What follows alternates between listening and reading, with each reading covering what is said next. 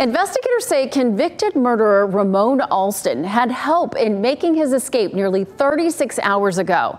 He got away while arriving at a medical appointment in Orange County after the roughly three hour ride from the prison in Bertie County. Orange County is his home county. Tonight, we're asking why officials would have brought him somewhere where he had so many connections. WRAL Investigates Sarah Krueger is live at the UNC Medical Facility in Hillsborough, asking those questions of officials. Sarah? Gerald, you have to think that Alston still likely has a lot of family and friends here. He knows this area very well, and that may have made it easier for him. It was here at UNC Hospitals in Hillsborough where he was able to get away, and he remains on the run tonight more than 150 miles. That's how far Ramon Alston was taken from Bertie Correctional Institution to this hospital in Hillsborough.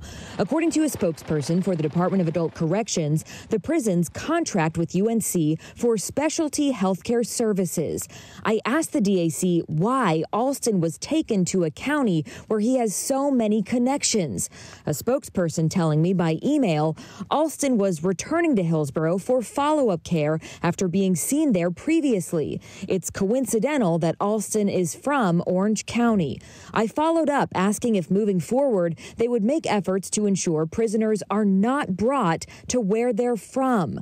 The response housing state inmates close to or in their home counties is very common as it facilitates visitation with family members, which is generally a positive rehabilitative influence. I remember this case vividly. Orange County District Attorney Jeff Nieman tried the case in 2018, calling it one of the most impactful of his career. The victim, one year old Malia Williams, was playing with her mother on Christmas Day when she was shot. Someone who was willing to do something as dangerous as what Mr. Alston did, there's it's obviously we're concerned about what he is capable of doing. He warns there are more charges waiting, not just for Alston once he's found, but anyone who helps him. There is a $35,000 reward for those who assist in this man's capture. There are felony charges for those who assist in his escape body cameras and dash cameras, those might have helped answer how that inmate was able to get away from here. So I asked the Department of Adult Corrections if corrections officers have those. I was told they do not. He also told me that spokesperson that there will be an after action review of the incident that happened here and body cameras may be part of that discussion. Sarah Krueger, WRAL News, live in Hillsborough.